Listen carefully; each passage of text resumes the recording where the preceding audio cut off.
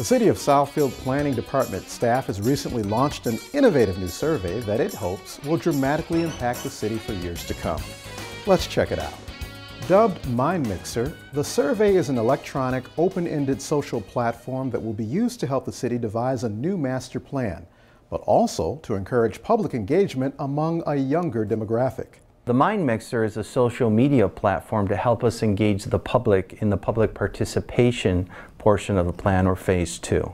It's a social media similar to Facebook um, to uh, allow residents, businesses, students, or visitors to uh, be engaged in the master plan process and help the council make decisions on the future of the community. The site is interactive, 24 hours a day, seven days a week, and will take a holistic approach to gathering information that will factor into long-term decisions regarding the city.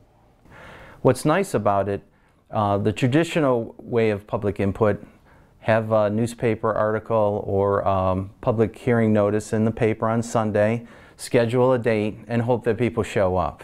And especially in the wintertime when it's 8 degrees or it's raining out, uh, we don't get a lot of people showing up at these meetings. The uh, beauty in my mind of Mindmixer is that it's 24-7. Uh, it's adapted to, to lifestyles, the different lifestyles that people have. If you're a morning person, you can get on it in the morning before work. If you're a late night person like myself, I can get on it at 1 in the morning. Uh, if I want to do it on the weekends, uh, it's a very interactive and user-friendly site. The site will also include several types of questions, both concentrated and open-ended, that will have mapping and pinning functions.